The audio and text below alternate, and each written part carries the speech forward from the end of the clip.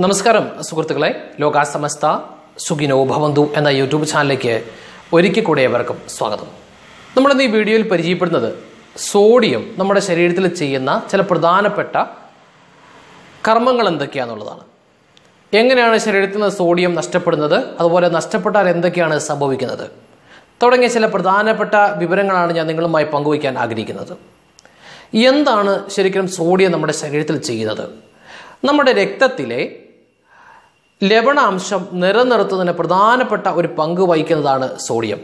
അതുപോലെ തന്നെ തലച്ചോറിന്റെ പ്രവർത്തനം അത് സുഗമമാക്കുന്നതും നാഡീവ്യൂഹങ്ങളുടെ സംവേദം അവയെ സഹായിക്കുന്നതൊക്കെ മുഖ്യ പങ്ക് വഹിക്കുന്നതാണ് സോഡിയം.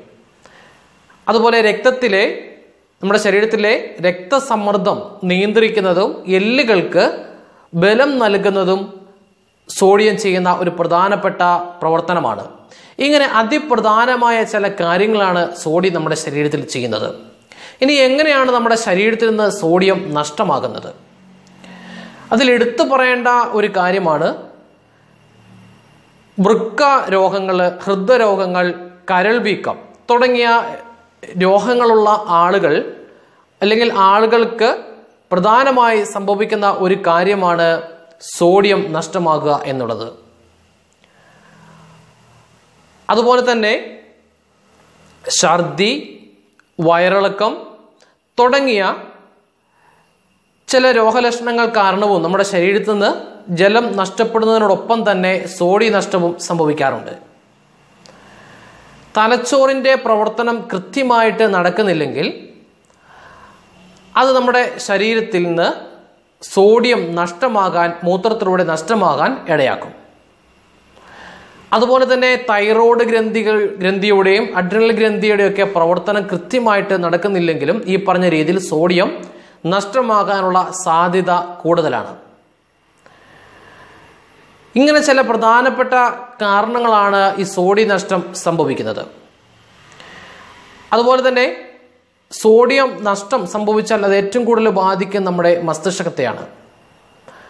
അതുകൊണ്ടാണ് മസ്തിഷ്ക രക്തസ്രാവം സംഭവിച്ച ആളുകളിലും തളർവാദം സംഭവിച്ച രോഗികളിലുമൊക്കെ അവർ ആ രോഗത്തിൽ നിന്ന് റിക്കവറി ചെയ്യാൻ വളരെ താമസം എടുക്കുന്നത്. കാരണം അവർക്ക് സോഡിയം നഷ്ടം സംഭവിക്കുന്നുണ്ട്. അതുപോലെ തന്നെ പ്രധാനപ്പെട്ട ഒരു കാര്യമാണ് രക്തസമ്മർദ്ദം നിയന്ത്രിക്കാൻ നമ്മൾ കഴിക്കുന്ന ചില മരുന്നുകളുടെ ഉപയോഗം. അതുപോലെ നമ്മുടെ ഭക്ഷണത്തിൽ നമ്മുടെ കറിയുപ്പിന്റെ അളവ് കുറയ്ക്കുന്നതും സോഡിയം നഷ്ടം സംഭവിക്കും. കാരണം നമുക്ക് ഒരു പരിധിവരെ സോഡിയം കിട്ടാനുള്ള ഒരു സോഴ്സാണ് നമ്മൾ കഴിക്കുന്ന ഉപ്പ് കറിയുപ്പ്.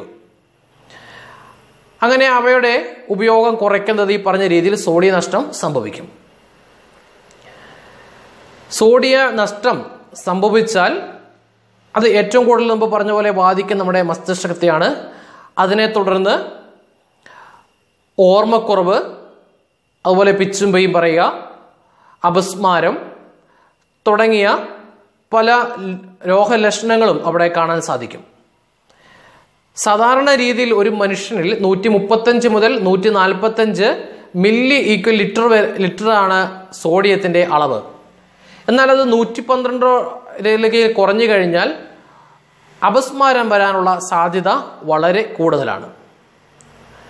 ഇനി നമ്മുടെ ശരീരത്തിൽ നിന്ന് സോഡിയം നഷ്ടപ്പെടാതിരിക്കാൻ നമ്മൾ ചെയ്യേണ്ട ചില പ്രധാനപ്പെട്ട കാര്യങ്ങൾ എന്തൊക്കെയാണ് വയറിളക്കവും ഛർദിയോ മൂലവും നമുക്ക് സോഡിയം നഷ്ടപ്പെടാതിരിക്കാൻ നമ്മൾ ചെയ്യാറുള്ള സാധാരണ എല്ലാ ആളുകളും ചെയ്യാറുള്ള ഒരു കാര്യമാണ് കഞ്ഞി വെള്ളത്തിൽ ഉപ്പിട്ട് നൽകുക എന്നുള്ളത്. അതുപോലെ ഇഞ്ചി ചതച്ചിട്ട് മോര് നൽകുക. അതുപോലെ തന്നെ നാരങ്ങ വെള്ളം ഉപ്പിട്ട് നൽകുക.